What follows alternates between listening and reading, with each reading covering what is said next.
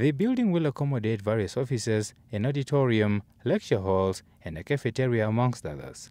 The building also reflects the growing need for teaching space at NAMCOL, which now boasts an enrollment of 48,000 learners from a mere 16,000 learners in 1997. NAMCOL offers a variety of courses, which mainly includes lifelong learning, English, early childhood development, and pre-primary education short courses, amongst others, besides being a gateway for grade 10 and grade 12 repeaters. Prime Minister Saara Kuugongelwa-Amadhila emphasized that government remains committed to ensure an inclusive education sector by improving the quality of education through industry attachment, coaching, and mentorship programs. She says that it is a befitting gesture for NAMCOL to recognize the efforts of former Prime Minister Nahas Angula, who initiated the introduction of NAMCOL. And I must congratulate Prime Minister Angula also because I know it was very difficult to establish NAMCOL. At that time, many people did not understand why we had to establish it.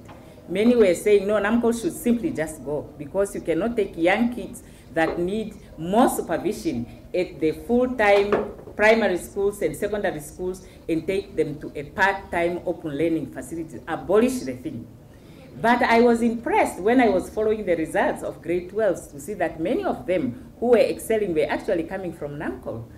Angula told NBC News that he is humbled by the recognition. I feel honored, of course, uh, but I'm not really in the, in the business of uh, my name being put on buildings or anything like that.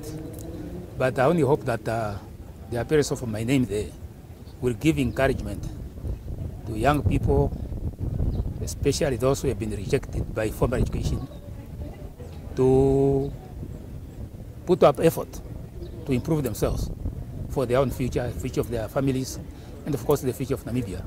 Since its inception, despite widespread negative stereotypes, at least 600,000 learners have gone through NAMCOL, some of them becoming lawyers, doctors, and engineers. Kaipa Kanji, NBC News, Windhoek.